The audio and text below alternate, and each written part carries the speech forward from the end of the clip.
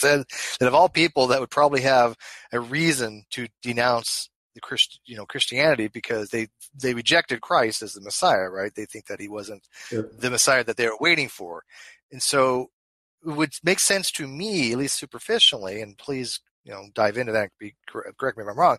It seems superficially, if he was just a myth, that the Jews would be around a long time ago going, this person never existed. This is a complete fabrication. But we don't see that, do yeah. we? No, we don't.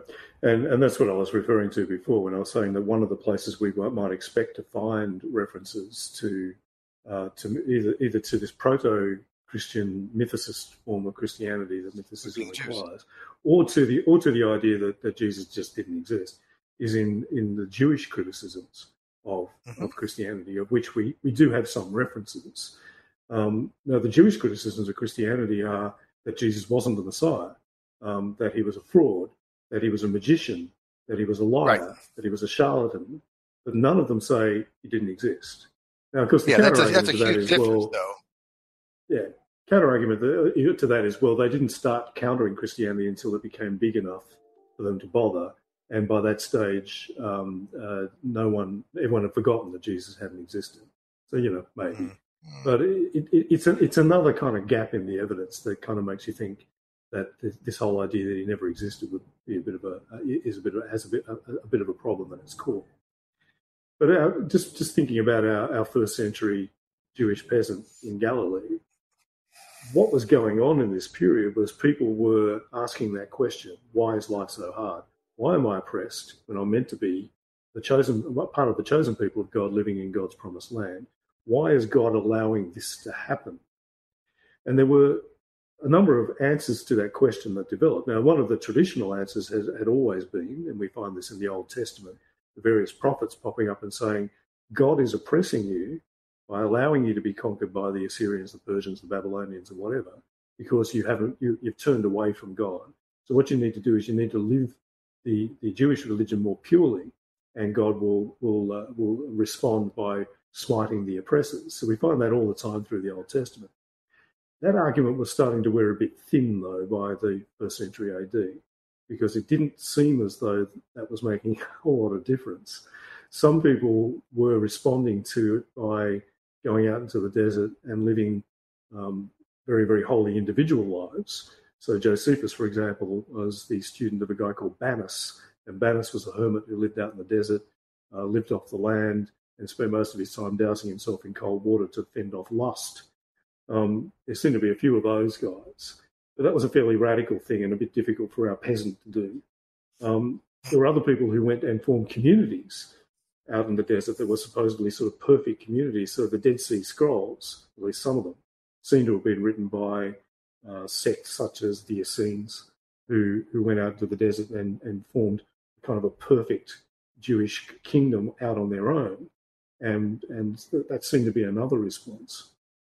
But one of the responses was that what was going on was God had withdrawn His power from the world, and but one day was going to come back and was going to reassert His authority. And this was because Judaism, in the period between the last book of the Old Testament, the last book to be written, which is probably the book of Daniel, and the what we call the, the New Testament. So this period that's called the intertestamental period Judaism underwent some radical change. So the Judaism that we see reflected in the Old Testament became quite different by the time we get to our Jewish peasant in the early first century AD. And some of the things that had changed was that their whole conception of the universe had changed. It had been heavily influenced by uh, Persian religion, particularly Zoroastrianism, and also by Greek philosophy. So the Persian influence meant that they now believed that there was a war going on in the cosmos. There was a war going on between the forces of good, led by God and his angels, and the forces of evil, led by Satan and the demons. Now, if you've ever had a look at the Old Testament, if anyone's actually bothered to slog their way through it, Satan doesn't appear very often. When he does appear, he appears largely as a kind of a servant of God who goes around testing people, like in the book of Job. But by the time we get to our first century peasant, Satan has become the bad guy in this cosmic war. And this is all coming from the Zoroastrian religion. They, they believed that there was a good god, Ahura Mazda, and a bad god, uh, Ahriman, and there was a cosmic war going on between the two. This influenced Judaism. So Judaism came to believe, or many Jews came to believe, that there was a cosmic war going on. And what was happening was that God had withdrawn his power from the world, mostly, and Ahriman, or sorry, Satan and his demons were pretty much in control. They were in they were the lords of the world. This is why the bad guys were were winning. And this was their answer to the question of why do bad things keep happening to me? Um, the other influence they had was from ancient Greek philosophy, particularly Platonic philosophy, believed that um, that the material world was a kind of a dim reflection of a cosmic ideal, and so they believed that the material world was reflecting what was going on out in the cosmos. And so, because there was a battle between Satan and God, demons and angels, that was being reflected on earth. And what was going to happen was God was going to intervene. God was going to come back and reimpose his rule on the earth. This got caught up with another idea that one day a descendant of King David was going to come up, was going to arise, and was going to sweep away all the bad guys. So the kings of ancient Israel were anointed with oil as their sign of their of their um, their favored status by God. So they were often referred to as Messiah, meaning anointed ones, from which we get the word Messiah. So there was this increasing idea that the Messiah was coming. A Messiah was coming, and when would the Messiah come? When God reasserts his rule, his kingship in the world. So there was this idea for our, our first century peasant that things are going to get better. When God reasserts himself, when the Messiah arises, God will come down from heaven with armies of angels. He will sweep away all the bad guys. He will punish all the bad people. He will cleanse the earth. The Messiah will then judge not just the living, but also the dead, because everyone who has, uh, has died already will be raised from the dead in a general resurrection. And God will judge everyone. And from that point on, the righteous will live in the kingdom of God, and the unrighteous will be cast out into the fires of hell. Now, is any of this sounding slightly familiar? Yeah. Quite, so we find all this. Yeah, in the, we tend to find all this in the Gospels.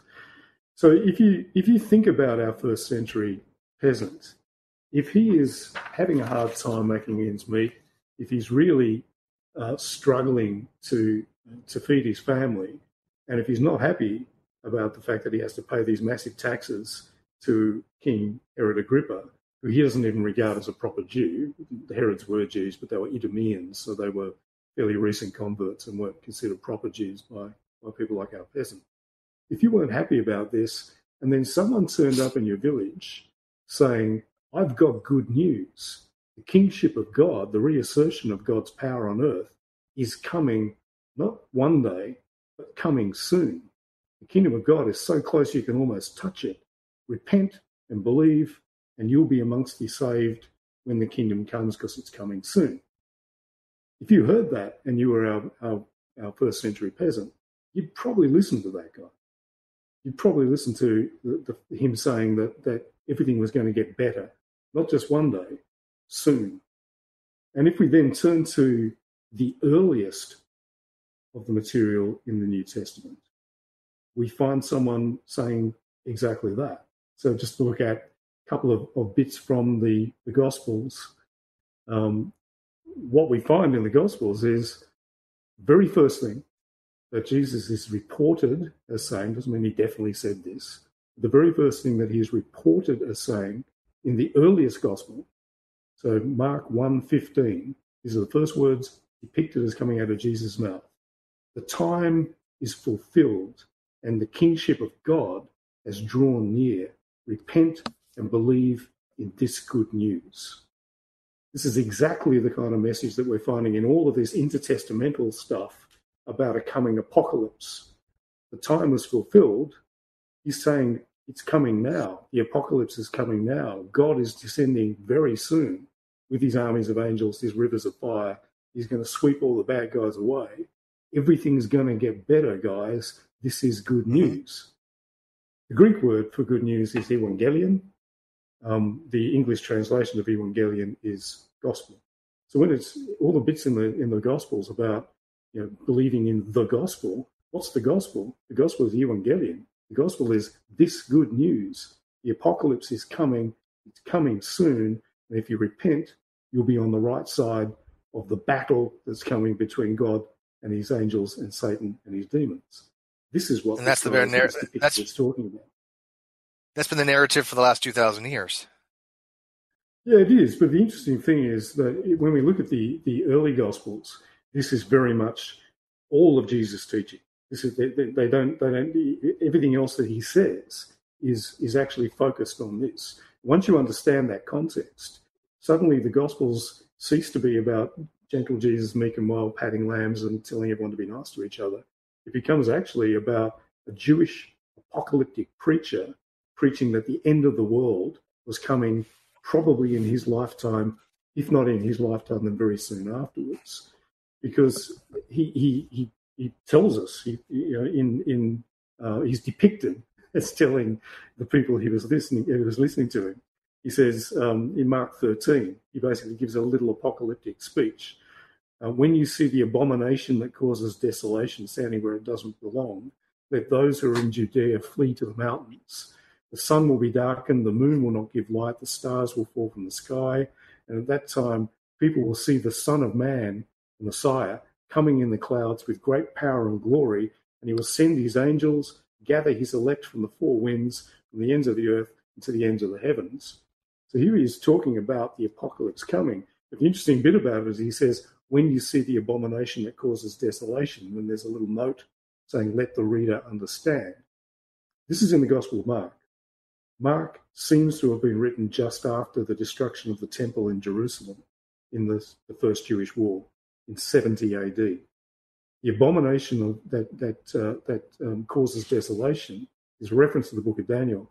But when he says, "Let the reader understand," he's saying, when you see pagans sacrificing to idols in the temple, then the apocalypse will be coming very soon afterwards. And we know Those that when the, Romans, signs.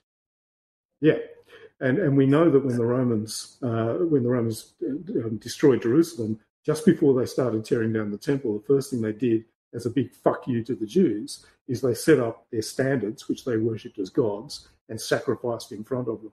So this is the writer of the Gospel of Mark putting these words in the mouth of Jesus. But effectively, what he's saying is, we've seen this shit. It happened not long ago. So what Jesus was saying is, it's hap- this this apocalypse is coming in our lifetimes. It's coming very very soon. And, and, and I think that's kind of a good place to leave it, though. Um, we we got to start wrapping it up here, Tim. So uh, we're gonna do some Sorry, super man. chats. But do you want to finish that thought? I I, I got to interview sometime because we're really getting close on time. Um, do you want to wrap up that thought, or do you just want to go into the super chats? Well, I think the, the, the key thing is that the um, uh, that this is the stuff that you find in the earliest uh, earliest gospels. What you find in the later gospels is this stuff gets played down, and eventually it gets removed completely. So by the time you get to the Gospel of John, this, this stuff all disappears. All the apocalypse stuff disappears. The message becomes hmm. about Jesus as Savior. So what this means is it is most likely that the reason you get this apocalyptic stuff in the beginnings, in the earlier stuff, and it gets played down later on, is that this is the kind of thing, whether it was exactly these words, that the historical Jesus was actually saying. And it, it gets remembered, but then as as the predictions about the apocalypse coming don't come true, it gets changed. That makes sense. what apocalyptic sects always do. Uh, you know what? I think there's a lot of um, verticality in that. That makes a lot of sense to me. Matter of fact, that it, early on it would have been more apocalyptic, and then as the things didn't come true, they became more of a savior type thing, and you know, uh, the, the more extreme things. Yeah, that makes more sense. Yeah. Uh, so let me see. Let me say something real quick, Steve. Yes, Steve. Yes, um, I just want to say to address. Uh, I have been trying to keep up with the um, the live chat and you at the same time, Tim, but it was proving rather difficult. Um, I must say, I by some I'm I'm quite shocked and a little disappointed. Um, the I knew this was going to be contentious. Um, however, I thought we would be able to handle it as a collective a lot differently. And we've had Richard Carrier on here twice, and the way that we did those was we let him um, state his case. Stephen, I don't know very much about this topic. It would be uh, pointless for us to try to get involved. So what we decided to do, we, we would let them present their case. Uh, Dr. Carrier presenting his, and then we brought Tim on to present his. Um, where I find the, the the frustrating part is that this kind of outcry of um,